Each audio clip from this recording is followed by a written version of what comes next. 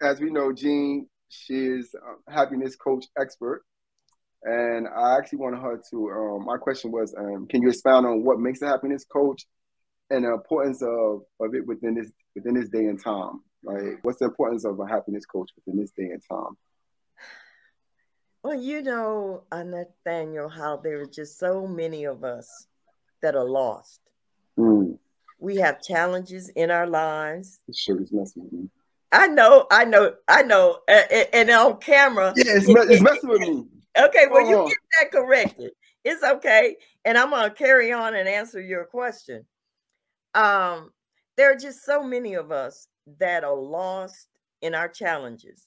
And we all face challenges on a day to day basis. And some of us just get lost in those challenges.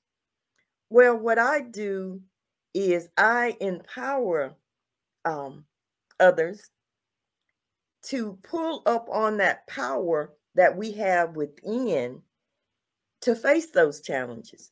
Now, as a happiness expert, I haven't always been happy. Mm-hmm. You know, I I have had moments that I labeled happy. That's right.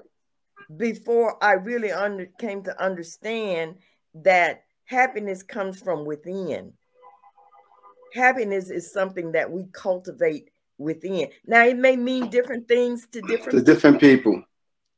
You know, and so that's where that self-examination comes in.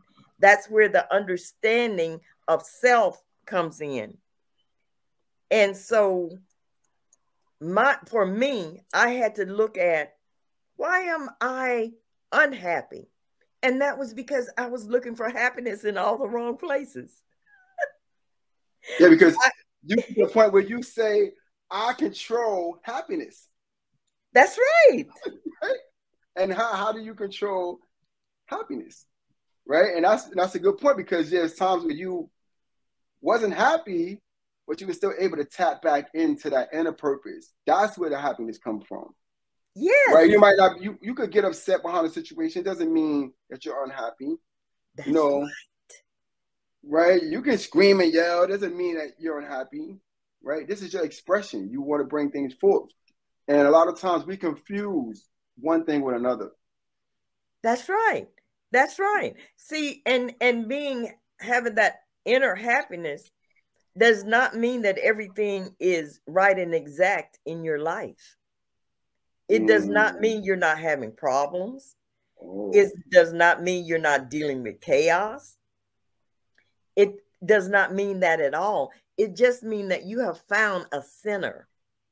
You have found a base that you can always come back to. You know, and it's something that's in within you that no one can take away. No one has control of it but you.